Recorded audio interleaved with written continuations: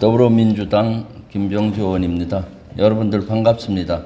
오늘 먼저 오늘 국민 건강 위협하는 용산공 개방 무엇이 문제인가라는 토론회를 갖게 된 것은 아주 의미 있다고 생각합니다. 또 이렇게 많이 참석해 주셨는데 감사합니다.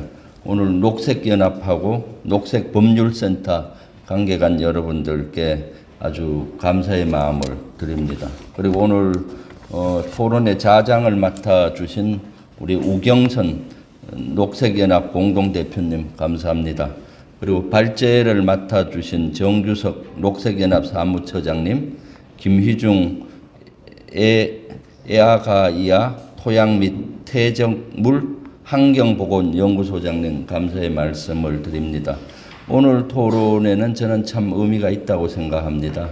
지금 시민에게 그 윤석열 정부에서는 용산공원을 환경 오염 문제를 그대로 방치한 채로 어, 개방하려고 하고 있습니다.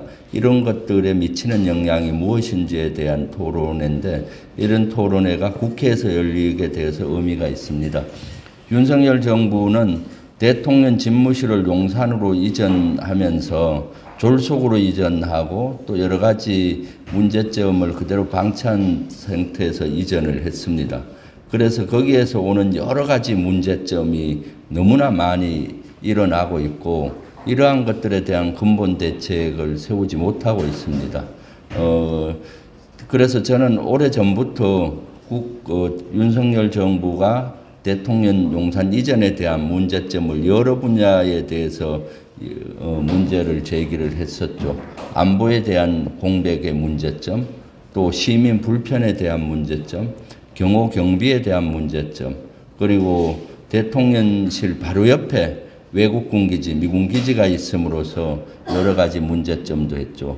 그 중에 가장 큰 문제점 중에 하나는 환경 오염 문제라고 생각을 합니다.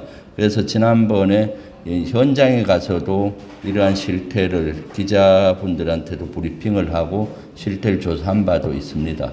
그리고 윤석열 정부에서 이런 오염에 대한 것들을 해결하지 않고 용산 공원을 시범 개방을 했었습니다. 그것도 한 29억을 들여서 했었고 5월 10일부터 26일 동안 했었는데 우리 녹색연합 대표님들하고 우리 의원실 보좌진들하고 가서 실제로 어느 정도 오염이 됐는지도 체크를 했습니다.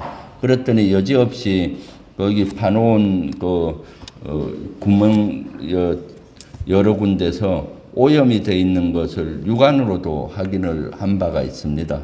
그래서 오늘 어, 토론회를 통해서 용산공원의 환경오염 문제가 얼마나 심각한지 또 이것은 근본 치유 없이는 용산공원을 개방해서는 안 된다는 그러한 것들을 정확히 우리가 알 필요가 있다고 생각합니다. 그리고 이런 것들을 우리 국민들에게 알려서 용산공원의 개방의 문제점의 피해가 고스란히 우리 시민들과 국민들에게 피해로 오고 있다는 것을 널리 인식시킬 필요가 있다고 생각합니다. 아무쪼록 오늘 토론회를 통해서 그러한 것들을 서로 알고 앞으로 이런 것들을 어떻게 어, 문제점을 제기하고 해결해 갈 것인가라는 문제라고 봅니다. 그래서 앞으로 이런 문제는 녹색연합과 우리 또 어, 국회 또 시민단체와 같이 시민운동으로 해서 해결을 해야 되지 않겠나 하는 생각을 하고 있습니다. 아무쪼록 오늘 토론회가 유익한 토론회가 되었으면 합니다. 예, 감사합니다.